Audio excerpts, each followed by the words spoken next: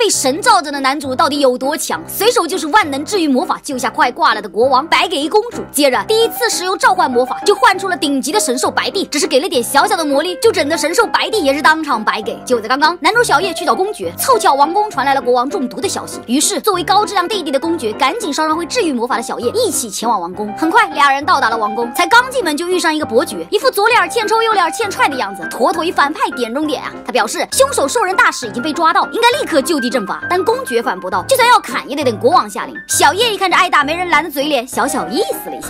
sleep。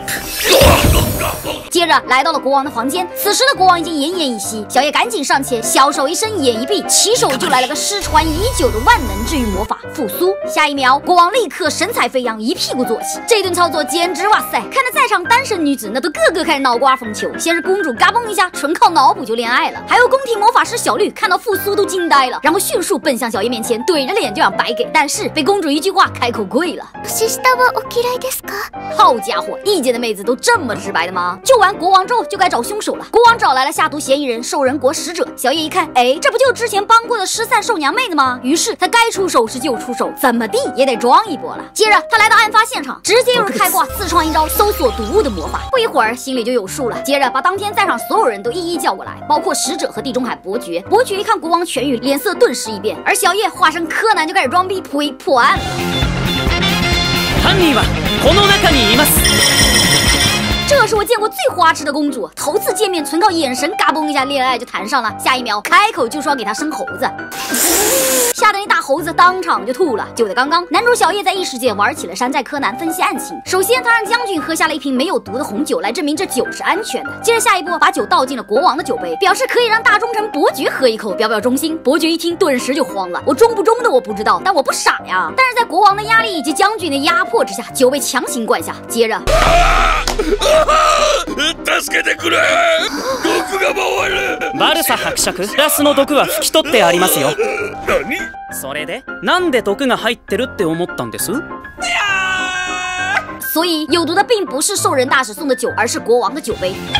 真実はいつも一つ，就一普通的栽赃嫁祸而已。这一招电视剧都看腻了好吗？这一顿操作下来，给公主看的那叫一热血沸腾，情难自已呀！斯巴拉西。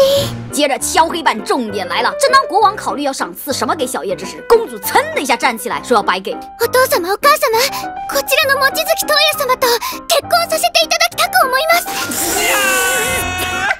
好家伙，下手稳准狠，开车快又猛啊！男主直接就傻了。更意外的是，国王夫妇二话不说，竟然立马就答应了，还表示晚上要开个趴庆祝一下。这下给小叶整不会了，公主就这么随便的白给了？原来公主的异瞳是对魔眼有洞悉人品的技能，而最重要的是，小叶是个会开挂的，拴女儿身边也不错呀。但国王也很是开明，要不你俩就先处个两年，不行再分呗。好家伙，后宫业务毫不含糊啊！这会子连神明也特意打来了电话祝贺，还让他不用担心，这里是个一夫多妹子的异世界，后宫。随便开，我这样说玩的漂亮，就这样嘎嘣一下，小叶成了国王的女婿，四舍五入的直接就约等于下届的国王啊！而且公主还决定跟着小叶住在旅馆，和大伙儿一起组队做任务。就这样，男主开启了美妙无人行。他是史上最顶级的神兽白帝，想召唤他当小弟的人不是死翘翘的，就是傻嘚儿了。但今儿个这小子不过是随便注入了一点点的魔力，就把白帝整的差点嘎过去。就在刚刚，男主带着后宫团去森林里猎杀猿王，为了证明自己有用，新加入的公主一上手就放出大招，使出了召唤魔法。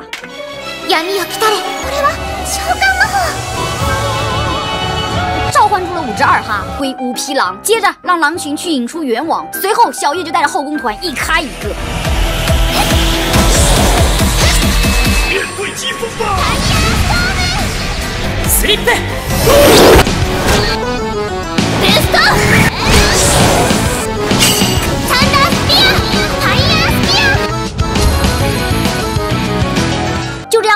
证明了自己的实力，也得到了仨妹子的认可。任务结束，回到旅馆，男主表示要学习一下公主的召唤魔法。不过，在第一招不小心又开挂了。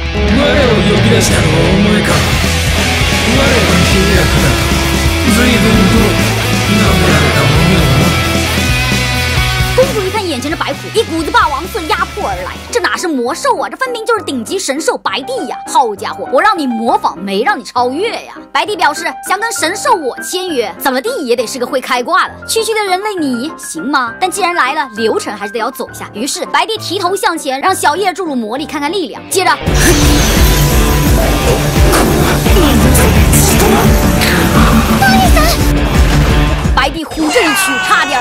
去世。下一秒，他彻底被征服，直接跪地认妈，呸，认主人，哈，就是这么随便。接着，小叶给白帝取名琥珀，收入了麾下。为了能够让主人携带方便，琥珀想了个妙招，摇身一变。